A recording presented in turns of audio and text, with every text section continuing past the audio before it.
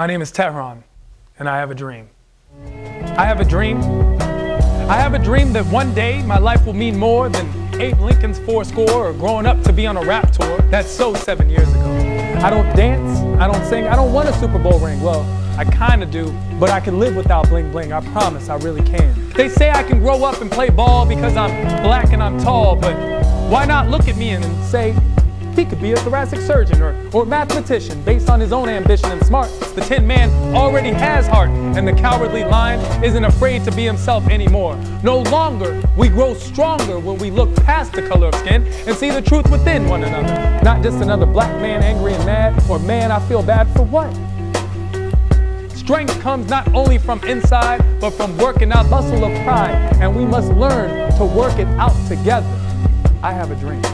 I have a dream that I refuse to be boxed in by the boxes on forms they have me check, climb out through intellect and accomplishment and represent for my people. Not the black race or the white race, but the human race. Just look at my face. I'll run at my own pace, thank you very much. I'm tired of running the endless racetrack. I know that I'm Persian and black, but I'm much, much more. Do you know that I'm human? Like you, like me, like everybody else on this planet we all call home? One day I hope you will see. One day I hope you will understand that there's no place like home. And home is where the heart is. And we all have hearts after all. I have a dream. I have a dream that it won't be important to have the first black president be elected to a second term, just another great president, no sex, no race, who earned greatness despite the color of his or her epidermis, but because of his or her earnest to serve.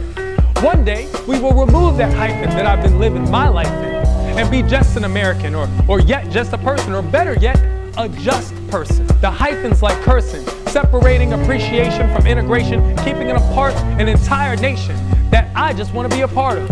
Instead of affirmative action, let's have positive action in all of our actions. I know I can't get no satisfaction, but I have a dream.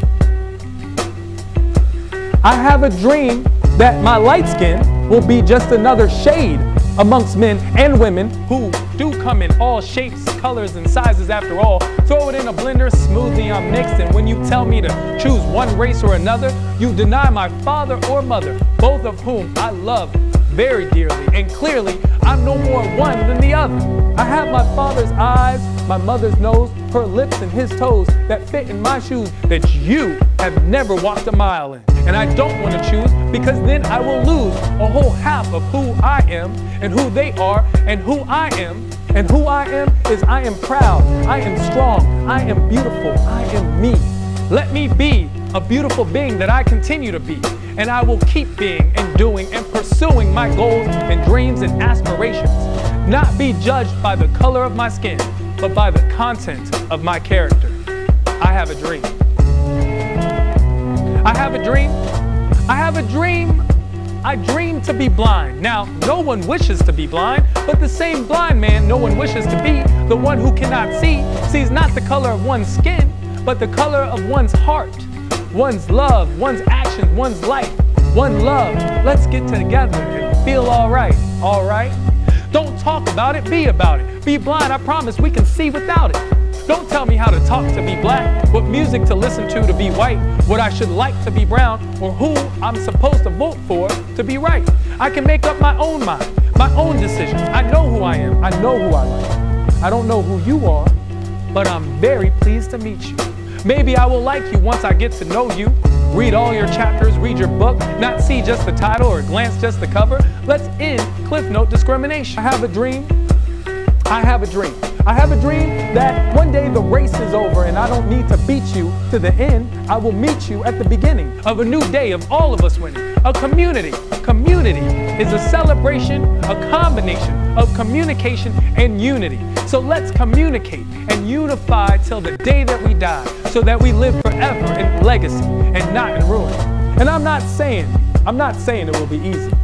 We can pretend it's not there or that it never happened, but slavery didn't end. It just spread to our minds. You can't clean the room by sweeping it all under the rug. Ask my mom, I've tried way too many times. Smile in the face, clutch, slide your purse to your back, lock your doors, we're in for a ride. Stereotypes are the new races, and there are way too many isms and not enough types. We can be many and still be one. The sun shines on all of us, but like race, burns our eyes if we look too close. Let's just feel its warmth together, smile, and have a wonderful day. I have a dream.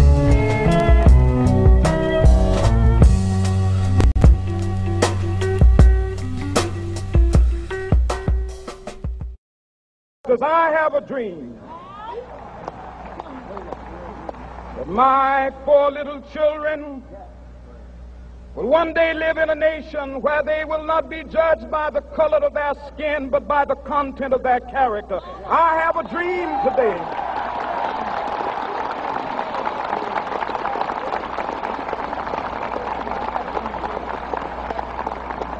I have a dream that one day down in Alabama with its vicious racists, with its governor having his lips dripping with the words of interposition and nullification. One day, right there in Alabama, little black boys and black girls will be able to join hands with little white boys and white girls as sisters and brothers. I have a dream today.